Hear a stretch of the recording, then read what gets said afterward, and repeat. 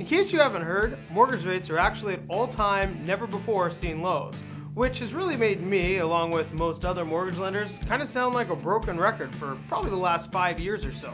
I mean, really, when was the last time we didn't have all-time mortgage rate lows? Yeah, I know what you mean, Ben. It seems like rates have been at or near historically low rates for quite some time now. But if you want to learn something from history, historically low rates will eventually go up, and you're about to find out what high interest rates means to your clients. We call it the rate effect. I'm Ben Brashen. I'm Ryan Leopold. Welcome back to Mortgage Resource TV. You're about to learn a simple solution to the complex problem of rising interest rates. Rates will go up, and a lot of people remember the 80s with 13 and 14% interest rates. Sure. But do you know how far you have to go back to find mortgage rates in the 7% range? Yeah. If rates go up that high anytime soon, it could really hurt the real estate market.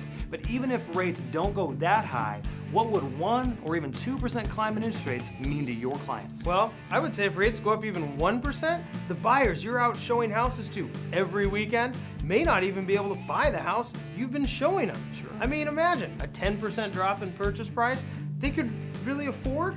Their frustration could keep them from buying a house at all. It really could. I mean, look at how many buyers are out there right now frustrated with the amount of buyers they're competing with. All of a sudden, buyers wish they could have bought a home back in September or October of last year. That's right. You know what I call that? The rear view mirror effect. It's like people who wish they bought a stock when it was at 6,000, or people who wish they sold their house in 2007, or people who wish they bought Apple stock before it became one of the biggest companies in the world. Now, when rates go up, people are gonna think, hey, I wish I bought a house in 2012. Sure. The rear view mirror effect? Yeah, some people say hindsight's 2020. I say it's a rear view mirror effect. Okay, but really, interest rates will have a major effect on buyers' ability to purchase the home they want. Check out these charts. If you take a look at this graph, you'll see that interest rates today are still in the high threes to low fours. But if you look back over the last 41 years, you can see that on average, interest rates tend to be for a 30 year fix between the 6 and the 8% range. And at some periods of time, they've gotten in the teens. So our buyers really do need to understand that we are in unique times. Interest rates are incredibly low, the lowest they've ever been. We just don't know how long they're going to be there. As you can see, mortgage rates really are at all time lows. But you know, you don't have to go back to the 80s to find higher rates. I mean, just go back to 2001 and you'll see rates in the 7% range. Sure. Which actually does kind of seem like a long time ago because the Mariners were good. In fact, that was the year they won 116 games. Oh, weren't those the days? Let's look at what those high rates would actually mean to your buyers.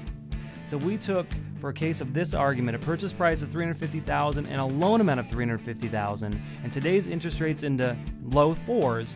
At four and a quarter, that would equal a principal and interest payment of 1721 today. And let's assume that's all they qualify for. That would equal again a purchase price of 350,000. If we bump that interest rate up to five and a quarter, to keep their current payment the same at 1721, that would now equal a purchase price of 311. If we went to an interest rate of six and a quarter, and keep their payments the same at 1721 that would equal a purchase price of 279,500 so you can see there's a significant drop off between 350,000 and a 279,500 by a simple increase of 1 to 2% in interest rate. And that's why we call it the rate effect because when you start looking at the effect of increasing interest rates it can actually put the homes that people want to purchase completely out of reach I mean, when clients are looking at $500,000 houses and then rates go up and they can only afford, say, 400,000, it's pretty tough for them to fall in love with that house that's $100,000 less, which really means that right now is an excellent time to buy because houses are more affordable due to the price of homes and mortgage rates. Yeah, makes sense, Ben. Here are the three tips for you to help your clients deal with the rate effect. Number one, you or their lender should counsel buyers on what each 1% in interest rate means to their purchase power. Typically, each $100,000 borrowed will go up about $1,000 per year for each 1% raise in interest rate. Number two, you or their lender should update buyers weekly on changes in interest rates. Mortgage rates change on a daily basis, and not knowing current rates could cost you your pre approval. And last, number three, talk to your buyers about affordability. House prices may stay flat, but that doesn't mean affordability will. Often paying a little bit more for the house you want, but getting a great interest rate is actually less expensive over time. And that's how you help your buyers deal with the volatility of interest rates and the rate effect. So ultimately, you can help them purchase the home of their dreams. Thanks so much for watching. We'll catch you next time on Mortgage Resource TV.